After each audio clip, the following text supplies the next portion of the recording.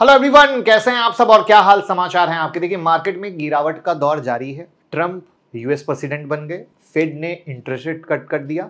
यानी अब ट्रंप की पॉलिसी क्या होने वाली है, ये मार्केट को डिसाइड करने वाली है। बट ओवरऑल वोलेटिलिटी जो अनदर लेवल पे थी, वो कहीं ना कहीं रुक गई है। बट मार्केट में ऊपर के लेवल से काफ़ी गिरावट हुई। तो अब ऐसी गिरावट में जितने बड़े बड़े फर्म्स हैं उनकी क्या है इन्वेस्टमेंट की स्ट्रेटजी वो कहाँ पर पैसा लगा रहे हैं? ये जो बार बार बात हो रही है सेक्टर रोटेशन की, ये आप कैसे समझ सकते हैं? तो जैसा कि आपको पता है, लगातार हम सेक्टर रोटेशन आपको यहाँ पर कवर करने की कोशिश कर रहे हैं। तो अब ये जो सेक्टर रोटेशन को जो हम कवर करने की कोशिश कर रहे हैं, उसमें आज हम आपको लाइव प्रूफ के साथ इनकी स्ट्रेटजी को बताएँगे, जिससे आप अपना सेक्टर रोटेशन बिल्कुल लाइव कर पाओगे। ये मेरा प्रॉमिस है। तो पेपर पेन लेकर रेडी हो जाइए। कैसे कैसे होना है, क्योंकि सिर्फ़ यहाँ नहीं, आगे भी आपको बहुत हेल्प मिलने वाली है। चलिए, पहली बार आए हैं तो चैनल को सब्सक्राइब कर लीजिए बेल आइकन हिट कर लीजिए और नोटिफिकेशन ऑन कर लीजिए। वहाँ पर शुरू करने से पहले हम निफ्टी के बारे में अगर बात करना चाहें तो निफ्टी की कहानी बस सिंपल है कि निफ्टी इस बॉक्स के अंदर है। अब इस बॉक्स से निफ्टी निकलेगी, तभी कुछ निफ्टी में बनेगा। यही है प्राइस एक्शन अगर आप फॉलो करते होगे तो ये सपोर्ट लेवल था जो हमने डिस्कस किया था।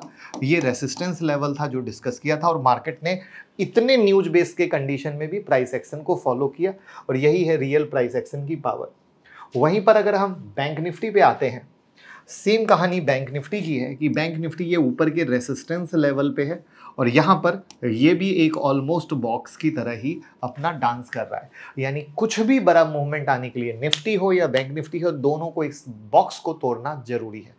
वहाँ पर अब इतने बड़े इवेंट के बाद, जहाँ तक मेरा मानना है, निफ्टी बैंक निफ्टी की जो मूवमेंट है, वो बिल्कुल इस तरीके से होने वाली है। लेकिन जो सबसे ज़्यादा पैसा कमा के देने वाला है, वो है शेयर यानी स्टॉक्स स्पेसिफिक अब आपको फोकस करना पड़ेगा। अगर आप इंटरडे या स्विंग में पैसा कमाना चाहते हैं, क्योंकि मैं बता दूँ कि शायद आपने ध्यान दिया हो, ना दिया हो, जहाँ पे आप लोग परेशान हैं मार्केट की गिरावट से, वहीं पर बहुत सारे शेयर बहुत अच्छे तरीके से परफॉर्म भी कर रहे हैं, बहुत अच्छा पैसा कमा के भी दे रहे हैं, चाहे वो इंट्राडे में हो या स्विंग में तो अगर आप चाहते हैं ऐसा स्टॉक सिलेक्शन सीखना तो 10 नवंबर से शुरू हो रही है हमारी स्टॉक मार्केट क्लास सबसे बड़ी बात क्या है? गोल्डन अपॉर्चुनिटी है कि आपको लाइव मार्केट अपडेट मिलेंगे, जिससे सीखते सीखते कमा सकोगे या नुकसान कवर कवर कर सकोगे, जो पहले हम कभी नहीं देते थे। ये आप लोगों की डिमांड पर शुरू की गई है, जिससे कि आप मार्केट की टच में रहते हुए, सीखते हुए कमा सको और नुकसान कवर कर सको। इंट्राडे स्विंग पोजिशनल सब जगह कर सकोगे, चाहे इक्विटी हो, चाहे फ्यूचर हो, चाहे ऑप्शन हो। क्लास लाइव रहती है प्लस अब आपको वीडियो भी मिलेगा स्टडी मटेरियल और चार ऐसे स्क्रीनर मिलेंगे, जिसको लेने के बाद बच्चों की तरह मार्केट देखने की ज़रूरत बिल्कुल नहीं है। तो अगर आप चाहते हैं, लोगों से आगे रहना, अगर आप चाहते हैं जो कि दस में नौ लोग लॉस में हैं तो नौ की काउंटिंग में नहीं आना और अपनी खून पसीने की कमाई से पैसा कमाना। तो nine seven zero eight zero nine four three two one पर कॉल कीजिए और टीम से बात कीजिए। तो चलिए शुरू करते हैं। तो जैसा कि मैंने कहा, पेपर पेन ले लीजिएगा। उसमें देखिए, कभी आपने सोचा नहीं होगा कि दुनिया के कुछ बड़े फर्म्स जैसे Morgan Stanley JP Morgan Jefferies S N P global इनकी इन्वेस्टमेंट स्ट्रेटजी क्या है या इनका क्राइटेरिया क्या है, जो मैं अभी सिखाऊँगा प्रूफ के साथ डेटा के साथ, और अभी उनकी पोजीशन कहाँ पर है, जो आप कहते हो ना एफआईआई बेच रहे हैं तो अभी वो कहाँ पे है, उसको लाइव दिखाऊँगा, जिससे आप भी अपने पोर्टफोलियो को सफल कर सकोगे। 1999 में मॉर्गन स्टेनले जिसे एमएससीआई भी कहते हैं, उन्होंने एक ऐसा इन्वेस्टमेंट टूल लॉन्च किया, जिसकी मदद से इन्वेस्टर सेक्टर रोटेशन को समझ पाए। इसका नाम है जी आई सी एस यानी ग्लोबल इंडस्ट्री क्लासिफिकेशन स्टैंडर्ड, जिसमें दो मेजर पॉइंट है। पहला जीआईसीएस हर कंपनी को सेक्टर, इंडस्ट्री ग्रुप, इंडस्ट्री और सब इंडस्ट्री के बेसिस पर आइडेंटिफाई करता है। दूसरा जीआईसीएस क्लासिफिकेशन सिस्टम, चार लेवल में होते हैं। इसमें 11 सेक्टर 24 इंडस्ट्री ग्रुप 69 इंडस्ट्री और 158 सब इंडस्ट्री अब आप कहोगे कैसे? ये तो बहुत कंफ्यूजन क्रिएट कर दिया। मैंने बोला था ना, कोई कंफ्यूजन नहीं रहेगा। तो 11 स्टॉक मार्केट के सेक्टर है यहाँ पर। Energy, material, industry, utility health care financial. उसके बाद यहाँ पर कंज्यूमर की दो वेराइटी है, आईटी, कम्युनिकेशन सर्विस और रियल एस्टेट। अब इस 11 में क्या होता है? सफल चलता है। कैसे चलता है? समझने की कोशिश कीजिएगा। तो अभी क्या हुआ? ये सेक्टर निकल के आए। ये कैसे चलते हैं? तो ये इकोनॉमी के लिए बहुत इंपॉर्टेंट है, राइट? क्योंकि इकोनॉमी में कंट्रीब्यूशन देते हैं। इतना तो सिंपल है। अब यहीं पर सवाल आता है सेक्टर रोटेशन का कि ये होता कैसे है? तो अगर आप में से कोई भी कॉमर्स का स्टूडेंट होगा तो वो इकोनॉमिक साइकिल को समझता होगा। लेकिन अगर जिसको नहीं आता है, मैं अभी तुरंत ईजी भाषा में समझा दूँगा। इसका सिंपल मतलब ये है कि इकोनॉमी में सारे सेक्टर एक साथ ग्रो नहीं करते हैं। उनकी एक साइकिल होती है, उनका एक स्टेप होता है, उनकी एक उम्र होती है। और उसमें कई सारे स्टेप में वो आगे बढ़ते हैं। कैसे? समझने की कोशिश कीजिएगा।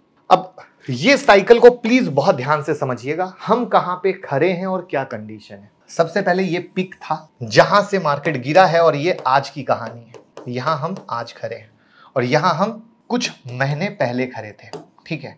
अब सिर्फ़ ध्यान से समझना कि सेक्टर रोटेशन इकोनॉमिक साइकिल में होता कैसे और इस फ़ोटो को संभाल के रख लेना ज़िंदगी भर के लिए और प्रूफ तो अभी आएगा ही आएगा। तो जब मार्केट पिक पे होता है ना, उस समय मटेरियल फाइनेंशियल और एनर्जी सेक्टर में सबसे ज़्यादा इन्वेस्टमेंट होता है। लेकिन जब मार्केट में डाउन साइड आता है तो यूटिलिटीज कंज्यूमर स्टेपल्स और हेल्थ केयर ऐसे तीन सेगमेंट में इन्वेस्टमेंट आता है। पता यहाँ हमें क्या क्या जोड़ना होगा? यहाँ हमें जोड़ना होगा ट्रंप हमारी सरकार, ठीक है?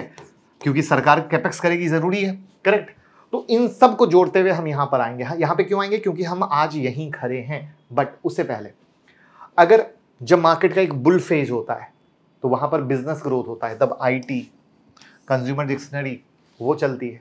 जब रिसेशन रहता है तो कंज्यूमर और फाइनेंशियल सर्विस जब रिकवरी आती है तो रियल एस्टेट और कैपिटल गुड अब कहोगे, ये तो बातें हो गई। नहीं चार्ट खोलो। जब पाओगे कि मार्केट हाई के पास था, उस समय एनर्जी और फाइनेंशियल सेक्टर और मटेरियल में आग लगी हुई थी। उससे पहले के प्रोसेस में आ जाओ। उससे थोड़े से पहले प्रोसेस में आ जाओ। तो आईटी सेक्टर नीचे से खतरनाक लेवल पे चला था। कंज्यूमर वाला खतरनाक लेवल पे चला था। और जब रिकवरी हुई थी तो आप गौर करना, आपका real estate capital goods share बहुत ज़्यादा चला था। Please I will request chart पे ये मिलाइएगा, तभी आपको समझ में आएगा। अब इसका प्रूफ यहाँ पर कैसे है? बट ये साइकिल दोस्त आपके पूरे पोर्टफोलियो की ज़िंदगी बदल सकता है। ठीक है ना? अगर ये साइकिल समझ में आया, मेरी बात समझ में आई तो वीडियो को लाइक ज़रूर कीजिएगा। और आप क्या एग्री करते हैं कि हाँ अभी कंज्यूमर और हेल्थ केयर और यूटिलिटीज़ का ज़माना है या कोई अदर सेक्टर है तो कमेंट में ज़रूर बताइए। देखिए, ये चार्ट अपने आप में बहुत एग्ज़ाम्पल दे रहा है। वन बाय वन समझने की कोशिश करते हैं पेपर पेन में लिख सकते हैं। पुरानी साइकिल से अगर आप देखोगे ना तो 2020 का जो फॉल था कोविड के कारण, उसके बाद हेल्थ केयर यानी फार्मा के शेयर खूब चले थे, जो अभी डाउन साइड में राइट यही तो है। रिसेशन आया नहीं तो हम वहाँ से नेक्स्ट फ़ेज़ में जाना शुरू किए। ये तो आया नहीं, लेकिन नेक्स्ट फ़ेज़ में जाना शुरू किए। यानी रिकवरी के टाइम 2021 में रियल स्टेट के शेयर खूब चले। मैं ईयर वाइज बता रहा हूँ उसके बाद आईटी का शेयर भागा। स्टेप बाय स्टेप भागा। है ना? और उसके बाद आने वाला टाइम 2023-24 एनर्जी से रिलेटेड था सोलर रिनेबल दबा के भागे। पिनेकल ऑफ़ सक्सेस सक्सेसफुल हुआ। और अब हम फिर से डाउन फिर वाले कंडीशन में बैठे हैं, जहाँ यूटिलिटीज़ कंज्यूमर स्टेपल्स और हेल्थ केयर पर फोकस है। आप कहोगे आपकी बात को ईयर वाइज तो मान लिया बट कुछ डेटा दिखा दो तो विश्वास आ जाए तो अब डेटा दिखा देता हूँ। बहुत मेहनत से इसको बोलते दोस्त फंडामेंटल एनालिसिस फंडामेंटल एनालिसिस सीखोगे तभी आएगा। हमारा ऐप तो उम्मीद करता हूँ डाउनलोड कर लिया होगा। तो वहाँ पर आप चेक कर लेना फंडामेंटल का कोर्स ये जो डेटा है ना लास्ट के कुछ हफ्तों का एफपीआई का डेटा है। आप लोग खाली इसमें परेशान हो, वो बेच रहे हैं, बेच रहे हैं, बेच रहे हैं। हाँ बेच रहे हैं भैया, हमें भी पता है। लेकिन अगर इतनी भयानक सेलिंग में वो कुछ खरीद रहे हैं, कहाँ खरीद रहे हैं? बिल्कुल होसो हबास में उसी इकोनॉमिक साइकिल को फॉलो कर रहे हैं, जो सच में प्रूवन फैक्ट है। अब कैसे समझिएगा? सबसे पहले तो हमने इकतीस आठ दो हज़ार चौबीस, पंद्रह नौ दो हज़ार चौबीस, तीस नौ दो हज़ार चौबीस और पंद्रह दस दो हज़ार चौबीस का डेटा लिया है, ठीक है? अब बहुत ध्यान से समझिए, ये आपका यूटिलिटीज़ ये कंज्यूमर ड्यूरेबल्स और ये हेल्थ केयर है, बराबर? अब सिर्फ़ आप ये देखते जाइए यूटिलिटीज़ में किस तरीके से बाइंग बढ़ती गई है और ये करोड़ में फिगर है, भूलिएगा मत। कंज्यूमर ड्यूरेबल्स में किस तरीके से बाइंग हुई है? इकतीस आठ में ही खड़े हैं, यानी नौ भी पकड़ लीजिए। उसके बाद देख लीजिए हेल्थ केयर में किस तरीके से बाइंग हुई है।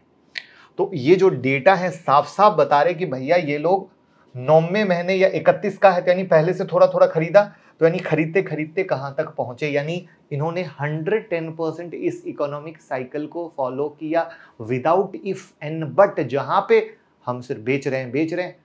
लेकिन वो क्या अच्छा कर रहे हैं? क्या वो सच में सही तरीका फॉलो कर रहे हैं या नहीं कर रहे हैं? जब हम उस पर नज़र डालते हैं तो आँखें खुल जाती है बाबा, खेल तो दूसरा चल रहा है। और ये उन्होंने क्यों किया? क्योंकि इकोनॉमिक साइकिल का रूल है, पैसा ऐसे ही बनता है और बिग प्लेयर इसी को फॉलो करते हैं। उम्मीद करता हूँ ये आपको समझ में आया होगा, पूरा रोटेशन ठीक है? पूरा रोटेशन कैसी लगी यूनिक लर्निंग कमेंट में बताइए, क्योंकि जब हम फंडामेंटली एनालिसिस करते हैं ना इन्वेस्टमेंट के लिए तो जब तक हम सिंक नहीं बनाते हैं एक एक चीज़ों को नहीं जोड़ते हैं, अब कहोगे जोड़ने का सेंस क्या है? उस पर भी आते हैं।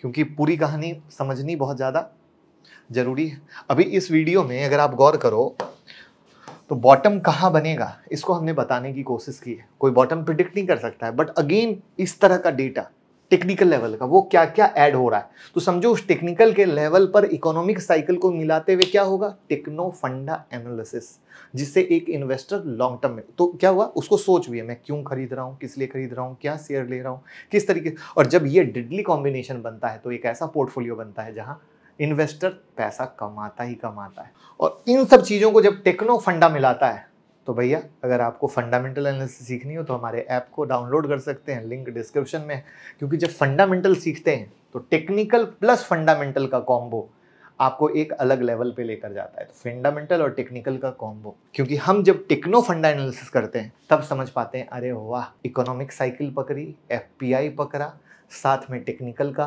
लेवल पकड़ा और तब इन्वेस्टमेंट की शुरुआत की। तो कैसी लगी वीडियो? कमेंट में बताइए और लोगों के साथ शेयर कर दीजिए।